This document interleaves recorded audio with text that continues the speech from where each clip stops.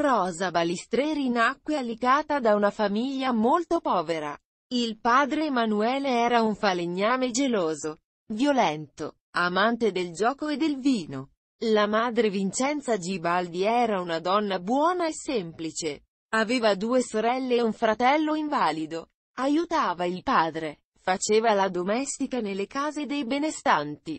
Lavorava al mercato per la conservazione del pesce o spigolava i campi di grano. Cantava per sfogare la rabbia. Il timbro forte ed originale della voce le consentì in seguito di interpretare le canzoni popolari siciliane con un tono fortemente drammatico esprimendo il senso di povertà e orgoglio della sua terra. Si sposò con Gioacchino Torregrossa, detto Iacchinuzzu, Fu un matrimonio combinato e dopo che il marito sciupò il corredo della figlia Angela giocando, Rosa tentò di ucciderlo e andò a costituirsi dai carabinieri.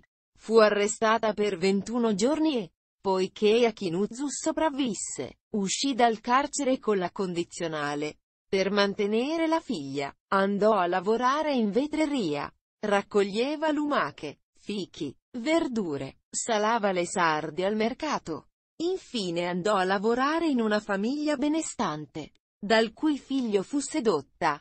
Lui la imbrogliò e disse a Rosa di rubare i diamanti di sua madre, che fu poi denunciata e arrestata per altri sette mesi. Uscita dal carcere si trasferì a Palermo. Il figlio nacque morto. Il conte Testa le diede lavoro come custode, sagrestana nella chiesa di Maria degli Agonizzanti dove visse nel sottoscala con il fratello Vincenzo. Purtroppo ricevette le molestie del nuovo prete. Con i soldi delle elemosine, partì con il fratello per Firenze. Questo fu il periodo in cui ebbe grandi gioie e grandi dolori. Lavorò come domestica. Il fratello poté aprire una bottega da calzolaio. Richiamò a sé le sorelle Mariannina e Maria. Una rimase alicata. L'altra, dopo un ennesimo litigio con il marito, prese i figli e raggiunse Rosa. Purtroppo il marito inseguì Maria e, trovatala, la uccise. Il padre per il dispiacere si impiccò. Rosa visse per 12 anni con il pittore Manfredi Lombardi, che la presentò ad artisti quali Mario De Micheli, Ignazio Buttitta, Dario Fo. Per circa un ventennio visse a Firenze per poi trasferirsi, nel 1971, nella sua dorata Palermo, città che fu sempre fonte di ispirazione per l'artista.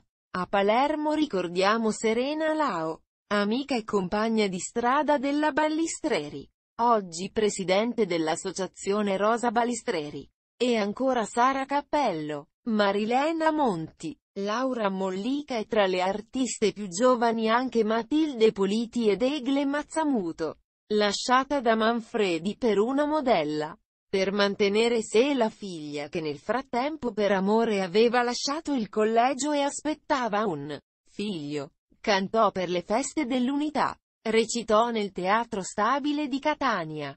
Nel 1974 partecipò, assieme ad altri esponenti del folk, ad un'edizione di Canzonissima. Dal 1976 è stata accompagnata spesso da Mario Modestini, musicista e compositore, che ha scritto per la sua voce le musiche della Ballata del Sale. 1979, di Buela, 1982, e di Oi Bambulè, 1987, morì nell'ospedale palermitano Villa Sofia assieme all'immagine ed al canto di una Sicilia che non conosceva rassegnazione, per ictus cerebrale durante una tournée in Calabria.